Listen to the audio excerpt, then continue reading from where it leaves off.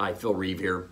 Thanks for watching this job video. Uh, let me tell you a little about the company. Uh, the firm's a publicly traded beauty products firm with uh, 34 brands in 150 different countries. Uh, the job reports into the AVP and is titled a Senior Consumer Science Researcher.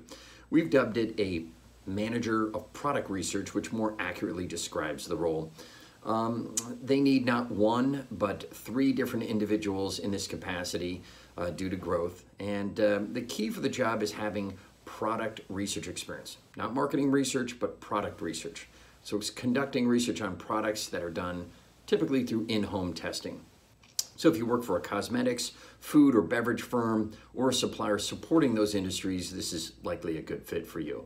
So a few key things are the job is in Clark, New Jersey, about 20 minutes from uh, Newark. And the role is dealing with quantitative and qualitative data and working with scientists and the sensory department. Um, the salary target, and I'm emphasizing that this salary target I'm sure will have to change, is targeted around eighty to ninety thousand dollars with a bonus. So don't let that discourage you. If you're making more, we should certainly discuss it because I think ultimately they'll probably have to pay more. Uh, the interview process consists of a phone screen to start with the hiring manager and or the other manager in the department who we actually place there.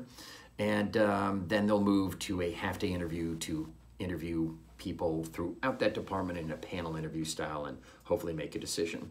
Um, so if this sounds like you and you have specific product research experience and uh, New Jersey is a location that works for you, give us a call. Let's uh, talk in more detail and you can obviously apply on our site at reevejobs.com so we can get your resume and, and discuss this and anything else that might be of interest. Thanks for tuning to this job video, and thanks again.